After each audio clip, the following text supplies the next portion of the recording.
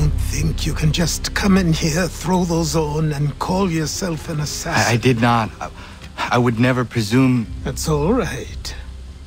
I know they've a certain allure.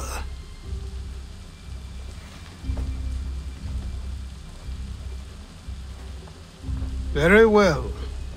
I'll train you. Then we'll know if you've the right to wear those robes. Thank you. Um... Name's Achilles.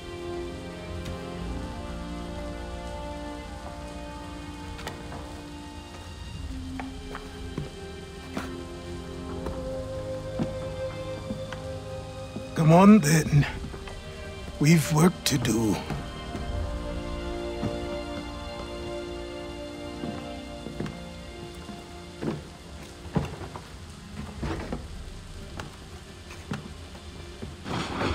You are a speck of dust, a nothing. You and all your kind, living in the dirt like animals, oblivious to the true ways of the world. What do the Templars want? What they've always wanted. Control. They see an opportunity in the colonies. A chance for new beginnings, unfettered by the chaos of the past. This is why they backed the British. Here they have a chance to illustrate the merits of their beliefs. A people in service to the principles of order and structure.